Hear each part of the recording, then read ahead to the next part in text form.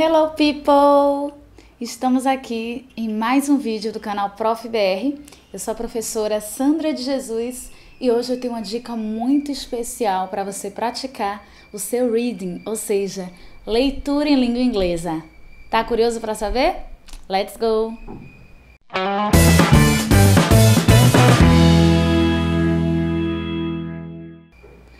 Pois é, gente.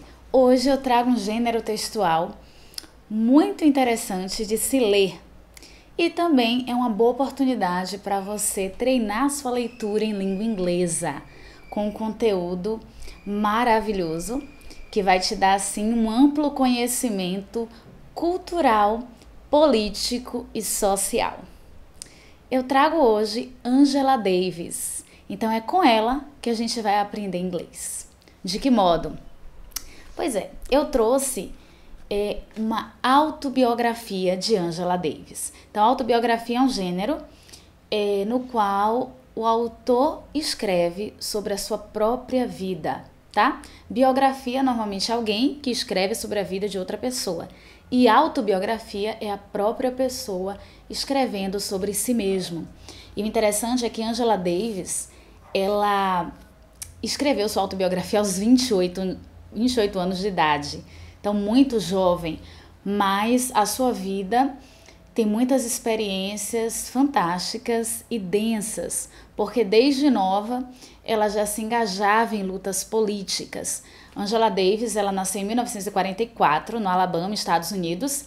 Então ela é norte-americana, por sua ascendência negra, é comumente chamada de afro-americana. É, foi professora, tá? Hoje é professora emérita da Universidade da Califórnia Angela Davis, gente, ela se engajou em, nos movimentos a favor dos direitos civis.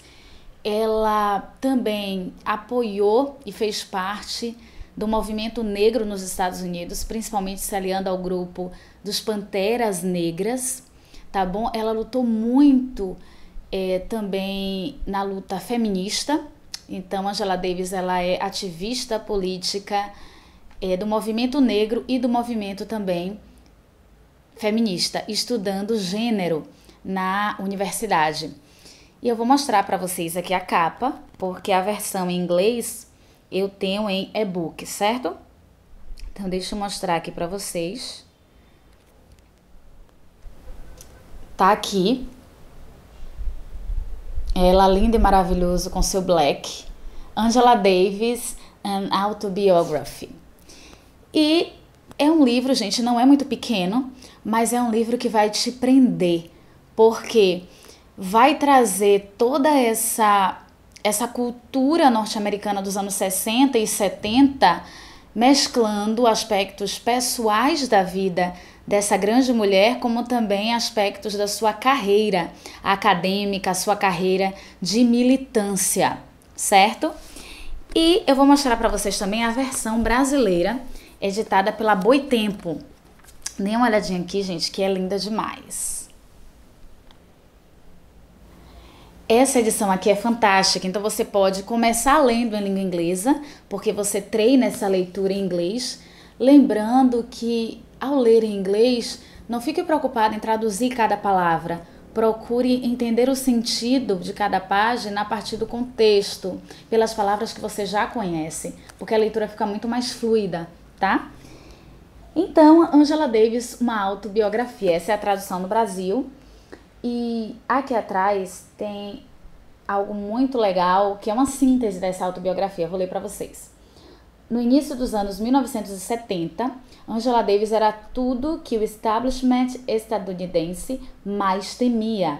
Com firmeza, enfrentou uma dura e insidiosa perseguição chegou a ser incluída na lista de pessoas mais procuradas pelo FBI.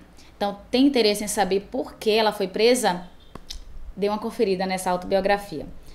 Aos 28 anos, escreveu esta poderosa autobiografia para narrar sua vida, desde a infância até o ingresso na carreira universitária e o engajamento contra as opressões de raça, gênero e classe. É potência pura esse livro. Mais que um relato da juventude de um ícone da história contemporânea, este livro entrelaça lutas sociais e trajetória individual para provocar uma reflexão sobre o caráter estruturalmente violento do sistema carcerário, do machismo e do racismo, em libelo pelo direito à dignidade e à emancipação. Então, gente, é um livro que te faz refletir sobre muitas questões que foram problema tanto no cenário norte-americano e que foram problema aqui no Brasil e que são problemas até hoje aqui na nossa sociedade. Então eu penso que aprender uma língua é também aprender cultura. E quando a gente procura aprender um idioma dentro de textos, dentro de discursos, a gente consegue ter acesso a como essa língua é utilizada no dia a dia é, dentro de gêneros textuais, gêneros literários. Isso nos capacita muito mais a crescer no conhecimento do idioma e na diversidade que outras culturas podem nos proporcionar.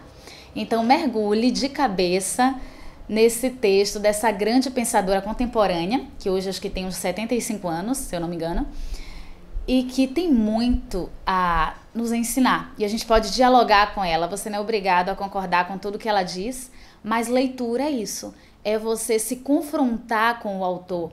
E os sentidos, eles eclodem, eles emergem a partir da leitura. Isso é fantástico, tá?